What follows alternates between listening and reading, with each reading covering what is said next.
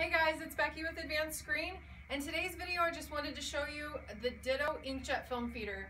This device you can install on your inkjet uh, printer and it allows you to feed eight sheets of film at once. So you can leave your film output unattended and allow it to just print out up to eight sheets all at the same time.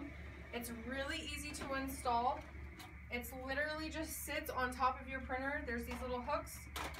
Set it down. You're ready to go. If you guys have any questions, please feel free to give us a call. 480-858-9804 or advancedscreenprintsupply.com. The Ditto inkjet film feeder, like I said, sells for $69 on our website. And uh, it's also made by the same developers as Separation Studio and AccuRip.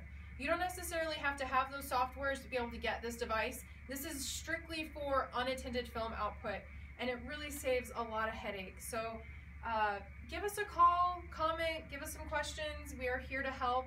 Thank you for watching these